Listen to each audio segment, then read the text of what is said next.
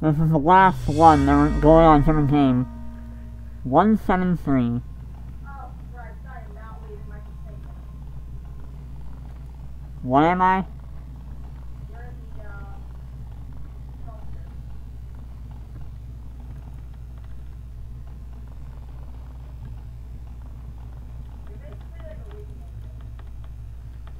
Can you open the door? Yeah, it won't open for me. Oh, never mind.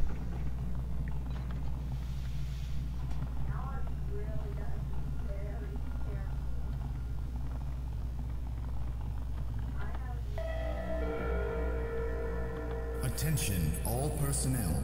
The light containment zone decontamination process will occur in T minus 15 minutes. All biological substances must be removed in order to avoid destruction.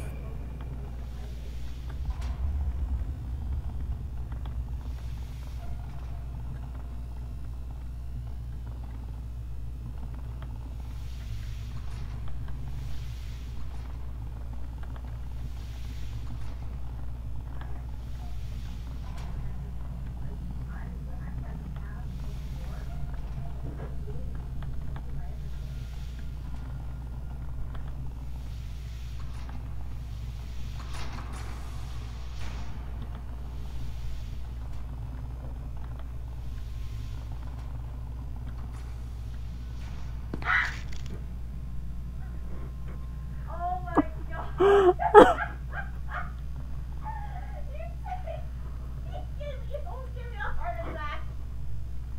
turning around and what crap. Hey, we're falling on the same floor and the game's actually okay.